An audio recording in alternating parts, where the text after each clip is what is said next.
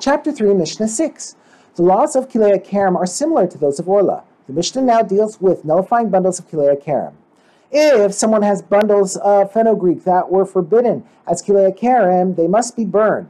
If any of these bundles became mixed with other bundles of fenugreek, they must all be burned, even if there were 200 or more bundles of permitted fenugreek. These are the words of Rebbe Meir. A bundle of fenugreek is something significant, according to Rebbe Meir, and it therefore cannot be nullified. But the sages say they can become they can become nullified in a mixture of 201, 200 permitted bundles to one forbidden one.